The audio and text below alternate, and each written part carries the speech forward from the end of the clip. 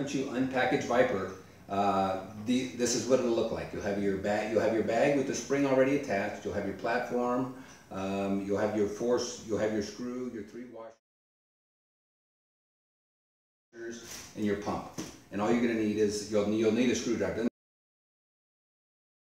what we'll do is we'll just take and we'll pop this on. We're going to take our flat washer. It doesn't matter whether you put your flat washer on first or your lock washer. We're just going to pop that through there. Pop that through there. You have your nylon washer. Your nylon washer always goes in between the platform and the spring. And then we're just going to get that started, screw that on. Boom, and we just take our Phillips screwdriver.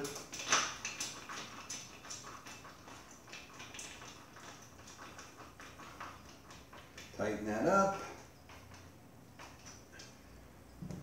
It's going to come with the, your little pump, and so you're just going to pump that up. Um, there's a little needle in there. Make sure you wet the needle, of course, before you put it in put it in the bag to blow it up. Blow it up, and, and that's what it looks like. This is a 9 16 screw, so if you can, every once in a while, just check that because this takes a lot of beating. So just check, make sure those are tight. Every now and then, you're going to check that, make sure that's tight.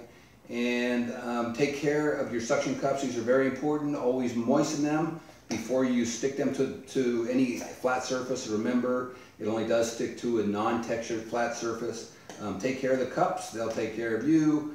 Um, that's it. Okay, so Viper's all put together. So the first thing you want to do, once you get it put together, ready to go, just take a wet, I just take a wet rag, wet cloth, and just kind of clean that up, moisten that up, make sure it's clean, wipe down the area, just kind of wipe down the area you're going to stick it on. And don't forget, we're making sure it's a, it's a non-textured flat surface. Boom, and then we're set. And we just pop it up there, hold it up, kind of level it up, push, push. And you want to make sure it's really tight when you push. If you push this and it's real easy to push, then you don't have good contact.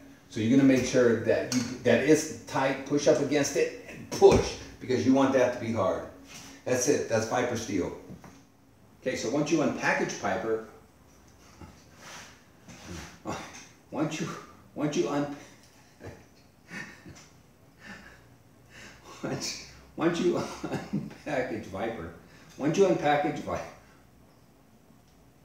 once you unpackage Viper, uh, the, this is what it'll look like.